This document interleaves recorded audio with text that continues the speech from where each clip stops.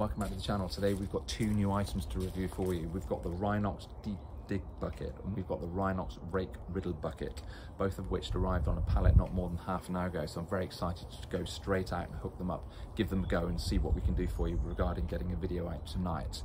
Uh, this isn't a paid promotion. I bought these buckets myself. However, Rhinox did offer me a very good price and some discount on the product. That said, this will not sway my view on the quality or the usage of those buckets. Uh, it wouldn't make sense to sort of lie about it. So this is a real life review by a real life person. Let's go and see what they're like. Oh look, exciting, exciting delivery, look. From our friends at Rhinox. See what they've sent. Let's get this thing opened, see what we've got. Wow. So, what do we have here? We have a Rhinox Rake Riddle. Very exciting. And also a Rhinox Deep Dig Bucket. So, two things going on here. Nicely packaged, obviously steel strapping there. Just arrived on a pallet. So, we've got the, the Rhinox Deep Dig bucket here, which is actually pretty cool. Look, they've put a little rhino they've plasma cut out or laser cut out the the Rhino logo into it. That's quite clever, isn't it? We've got our quick hitch connectors here, as usual, as we might expect to see. So here's the Rhinox Deep Dig Bucket. It can only be described as the claw. It's literally just been ripped off of Godzilla's finger. Look at the size of it. It's absolutely brutal. See here the little Rhinox Rhino's logo in the side, which is... So the claw, as we shall now call it, is what? 75, 75 mil all the way down, which is quite nice. Absolutely perfect for something just like this. Water pipe, which is what I've got it for. People obviously use it on the pavements for their broadband and their fibre and whatever. The bucket is obviously narrow deliberately, so you only dig out what you need. Just makes sense, doesn't it?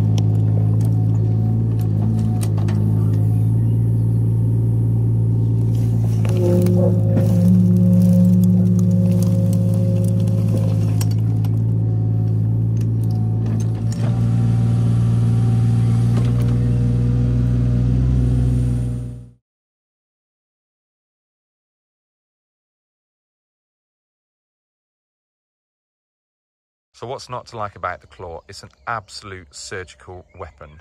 Having put in water pipes before with the wider bucket, it's an absolute fool's errand. Money well spent in my opinion. Um, I don't see any problems with it at all. I mean, at the end of the day, it's a solid piece of engineering that is designed to do the job. It does what it says on the tin, basically. Okay, so the claw weighs in at 25.54 kilograms, a very manageable weight for most people.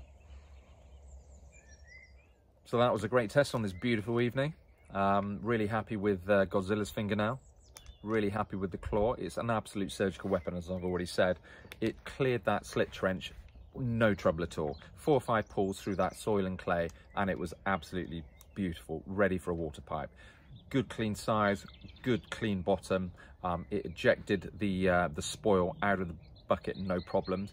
I've just been thinking about it and those little rhinos on the side which are really nice little design cues could actually be quite functional because if you needed to clear some soil or some clay from the bucket you could probably jam something in there maybe a long screwdriver or a bar or something and just wiggle out the, the stuck material. So they might actually be quite functional as well as quite cool.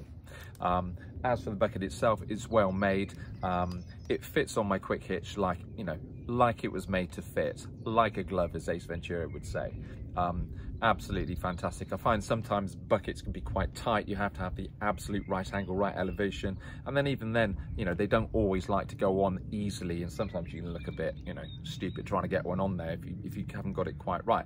But they just slipped on like no trouble at all. Absolutely fine. Um, so that's a real plus point from my point of view.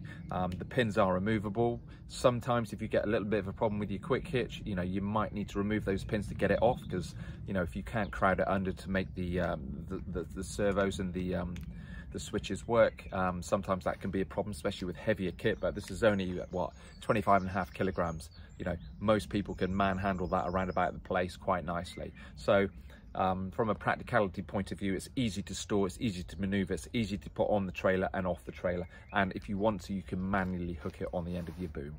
Um, really enjoyed using it. I just wish I bought one sooner, to be honest. I got a fantastic price on it as well from Rhinox, so um, I have to say thank you for that. Happy digging, stay safe. I'll see you next review. You know, if I eat any more of these, I'm going to go up the wall.